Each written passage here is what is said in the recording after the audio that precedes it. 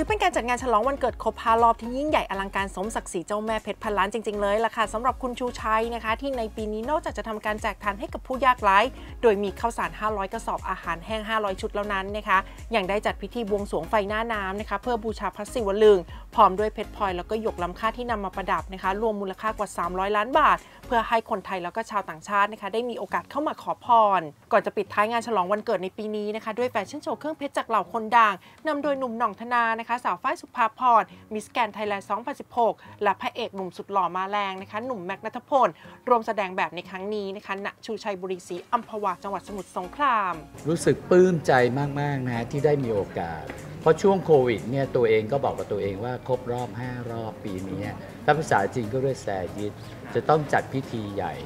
ส่วนตัวพี่มีความรู้สึกแล้วฉันจะจัดได้เหรอในเมื่อมันมีโควิด ฉันอยากจะทำนี่ทำโน่นทำนั่นที่เกี่ยวกับช่วยเหลือประเทศชาติ ช่วยให้มันเกิดเป็น new destination ช่วยมันกลายเป็นแหล่งท่องเที่ยวใหม่ ช่วยให้การบวงสรวงเทพที่สง่างาม โดยองค์พระศิวะคือเจ้าแห่งเทพ แต่คนไม่ค่อยนึกถึง นึกถึงแต่องค์ลูกองค์พระแม่อุมา ก็เลยเป็นที่นี่นะฮะ เราเริ่มต้นที่พระศิวะลึง องค์ที่สวยที่สุดในโลก อลังการที่สุดในโลก แพงที่สุดในโลก และใหญ่ที่สุดในโลก เพื่อตีคล้องร้องเป่าให้ทุกคนมากราบไหว้บูชาที่นี่ และไม่เพียงเท่านั้นยังมีองค์บริวารอีก 5 เทพอยู่ที่นี่นะฮะ เปรียบเสมือนคุณไปชูชัยปุเอ่อชัยปุระที่อินเดีย แต่ตอนนี้ไม่ต้องแล้ว มาชูชัยปุระที่นี่หรือปูชัยปุรี ชูชัยบุรีศรีอัมพวา ตอบโจทย์ทุกโจทย์เลยนะฮะแล้วบอกทุกท่านเลยเข้าไปไหว้เข้าไปขอ เข้าไปอธิษฐาน จะได้เหมือนที่พี่ได้ เพราะพี่ได้มาทั้งตลอดชีวิตก็คือองค์พระศิวลึง และอย่าแปลกใจนะวันนี้ที่แต่งตัวแบบนี้ เพราะมีคนมาบอกพี่ว่าพี่คือองค์ที่รักพระศิวะเหลือเกิน ก็คือเหมือนพระแม่อุมา ให้พี่แต่งแต่ตัวพี่เองรู้สึกเขิน เพราะรู้สึกมันไม่ใช่เรา แต่เราก็ต้องทำเพื่อเป็นการถวายให้ท่าน แล้วก็มีความรู้สึกว่ามันมีแต่ดีกับเสมอตัว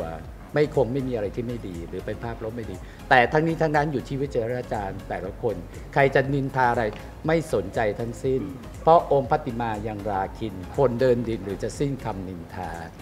ไม่ต้องพูดอะไรทั้งสิ้น พระพุทธเจ้ายังไม่พ้นคำนินทา แล้วเราจะไปกลัวอะไรกับแบบนี้ เราทำให้ถูกต้องทำด้วยใจทำด้วยจิตบริสุทธิ์ ทำเพื่อประเทศชาติพันเพื่อคนอัมพวา และทุกๆคนในประเทศนี้ให้รับแต่ความสุข ความเหลือเฟือ ความบันเจิด ความสว่างสวัยนะฮะเปรียบเสมือนเพชรที่พี่ทำคือแข็งดังเพชร สว่างดังเพชร บริสุทธิ์ดังเพชร ทุกอย่างดังเพชร แล้วเดี๋ยววันนี้จะมีการไลฟ์สดเพชรทุกเพจทุกคนเข้ามาดูกันนะฮะ ร่วมมือร่วมใจ เพราะเงินส่วนหนึ่งเอาไปทำบุญตลอดเวลา นะครับวันนี้ครอบสีลมองค์เดิมเนี่ย500 ล้าน วันนี้ทำใหม่อีก 300 ล้าน ครอบไปบนเดี๋ยวทุกคนก็ไปดูได้ เป็นเพชรเม็ดใหญ่มีอะไรพี่จำอะไรไม่ได้แล้วเป็นของที่พี่สะสม อันนี้คือมึงจะตั้งถาวรที่นี่หรือว่าเฉพาะตั้งถาวรตลอดเพื่อให้เป็นตำนาน ชีวิตที่พี่คบมาเนี่ยพี่บอกกับตัวเองเสมอนะว่า สิ่งที่พี่ประสบความสำเร็จมาหนึ่งเราต้องขยันมุ่งมั่น ฝันเป็นทำให้ถึง ก้าวให้สู่ฝันเรา เมื่อเราสำเร็จแล้วเราเหลือเฟือ สิ่งที่เราเหลือเฟือจะต้องรู้จักคำว่า ทานศีลภาวนา นั่นคือบุญ เพราะเทพต่างๆเนี่ยเราไปกราบไหว้บูชา ท่านรู้ว่าเราเคารพและกตัญญูและนึกถึงท่าน แต่ท่านรับไม่ได้ สิ่งหนึ่งที่ท่านจะรับได้คือ ทานศีลภาวนานั่นคือบุญสูงสุดที่ท่านจะรับสิ่งนี้ได้ ทุกสิ่งทุกอย่างในจักรวาลนี้ หรือเจ้ากรรมในายเวรก็จะได้รับได้ เช่นเดียวกับเวลาถ่ายไตจีวร คุณรู้ไหมว่าเวลาคุณบริจาคไตจีวรเนี่ยสัตว์นรกที่เขาหนาวเหน็บเขาจะได้แต่ทันที เราโอโหสิแผ่เมตตาออกไปกว้างใหญ่ กว้างไกลที่สุด แล้วคุณจะได้สิ่งที่ดีๆ เข้ามาอย่างเหลือเฟือเช่นพี่ ไม่ใช่มูเตลูไม่จริง มีจริงเทพมีจริงรับรองได้ล้านเปอร์เซ็นต์พี่อยากให้มาที่นี่นะฮะเพราะว่าที่นี่เนี่ยหนึ่งไม่ได้ไกลจากกรุงเทพเลย แค่หนึ่งชั่วโมงกว่า ไม่ต้องบินไม่ต้องอะไรทั้งสิ้นขับรถมา แล้วที่นี่ตอบโจทย์ทุกอย่างมีพิพิธภัณฑ์ บางคนไม่รู้นะฮะ พี่มีพิพิธภัณฑ์ของที่เป็นสะสมเป็นพันล้าน เข้าไปดูได้ในเรือนไทย ด้านล่างก็จะเป็นของจุกจิกจุกจิกเมื่อ 5 60 ปีที่แล้ว แถมเรายังมีคาเฟ่อัมบวาสีคาเฟ่ ที่เป็นแหล่งเช็คอินและแชร์ที่เลิศที่สุดอลังการที่สุด และถูกที่สุดที่กล้าพูดได้เลย คุณมาปุ๊บคุณได้ทุกสิ่งทุกอย่างอยู่ได้ต่อหนึ่งวันเลย และหรือจะอยู่ต่อเราก็มีโรงแรมต้อนรับตรงนี้อีก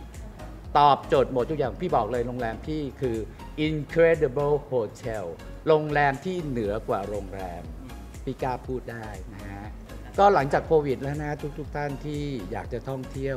สิ่งหนึ่งนะอยากให้กราบไหว้บูชานะครับ ก็เป็นส่วนหนึ่งของการท่องเที่ยว แล้วก็อยากให้อุ่นอัมพวาเยอะๆ เพราะว่าเมืองนี้เป็นเมืองที่สวยงาม เป็นเมืองที่ศิวิไลซ์แล้วก็เป็นเมืองที่ยังคงความ original อยู่เยอะนะฮะแต่อย่ามาทำลายนะคะ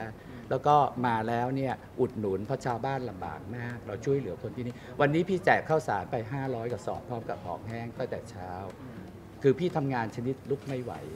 แต่พี่ก็ทีมงานจัดการ แล้วก็ตั้งแต่บ่ายโมงเนี่ยทำงานเดี๋ยวพรุ่งวันนี้จนถึงตีหนึ่งก็จะเป็นแบบนี้ชีวิตพี่แบบนี้คือ คือพี่มีความรู้สึกว่า ถ้าเราไม่พิชิตมันมันจะพิชิตเรา อุปสรรคต่างๆ แก้ไขได้นะคะ เราต้องเป็นผู้พิชิตให้สมกับชื่อ ชูชูชูชัยชัยชัยชูชัยอย่างเดียว และสำหรับผู้ที่สนใจนะคะ ต้องการเดินทางมากับสักการะขอพรสิ่งศักดิ์สิทธิ์สามารถเดินทางมาได้ที่โรงแรมชูชัยบุรีศรีอัมพวา หรือจะติดตามข้อมูลเพิ่มเติมนะคะ ได้ที่ Facebook Fanpage นะคะของชูชัย The Uni verse จักรวาลของชูชัยได้เลยนะคะ